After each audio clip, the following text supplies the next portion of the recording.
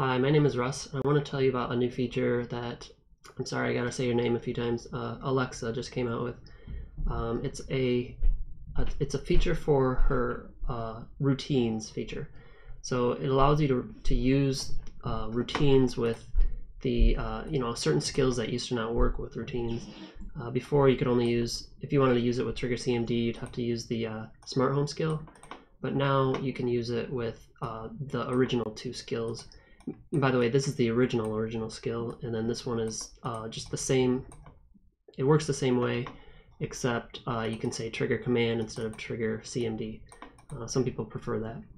Anyway, the, the, the original skills worked like this. Uh, you, you'd say this full, you know, quite a it's quite a sentence. You'd say, ask trigger CMD to run volume with parameter high, uh, where volume is my uh, is the name of my um, my uh, what do you call it the the voice trigger for my command, um, and then high is the uh, the parameter that gets appended to my command right here.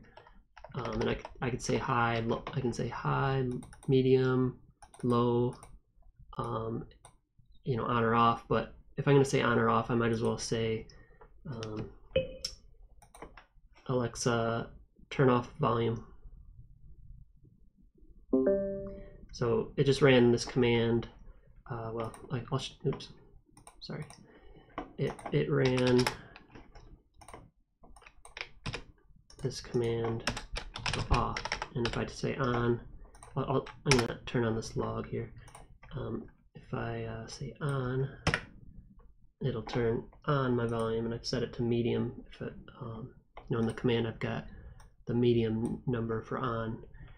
So you get the idea. I think uh, that you can pass a parameter to this uh, command on or off, and it'll set a number, uh, which ends up being the the um, parameter for this command, uh, which is, by the way, NirCmd is a is an executable. If you just run NirCmd, it'll pop up, um, and you can copy it to your Windows folder. But uh, you know, NirCmd's got set volume and set volume one, you know, zero, one and two. Um, I just found set volume first, and so I used you know its syntax. But you could use these two as well, um, just so you know. Um, but yeah, I, I want to do a little bit more demoing, um, and I and to show you that it can also work with uh, Google. Um, so let me go back to my log. Uh, Alexa, um, volume medium. It's already on medium. Volume change to medium. Oh, and I forgot to tell you that the reason it's saying volume changed to medium is I told her to. Uh, like params is the actual parameter that's getting sent. Um, let me show you that, how I set up the routine. So if you go into the Alexa app, you'll find routines. Oops, I'm going to turn her off for now because I'm going to be saying her name. To control a video device with your voice, you need to connect it first. Sorry. In um, the Alexa app, go to settings. Alexa. And then TV stop. and video. All right. Anyway, um, here's routines, and I've added these uh, four routines at the bottom. Um, so let's go into full volume, right? Uh, here's my full volume routine. Um, if I, and, and, so right here I've got five phrases that can trigger it. Um, full volume, volume full. Sorry about the, the noise. Um, so these are my, I must have, that's six. So I, I don't know, my screenshot is out of date, I guess. Oh, or five other phrases. Full volume is one of them. Anyway, um, and so if I say full volume, it'll actually say this, like, uh, Alexa will translate that shorter phrase into this longer one, where it's saying, Alexa, trigger CMD, or ask trigger CMD to run volume with parameter high, which again uh, sends, you know, appends high to this command, which my uh, script is like this, so it, um, you know, if it's if it's high, it sets the volume to this the, the highest number, um, and then runs NirCmd with that number.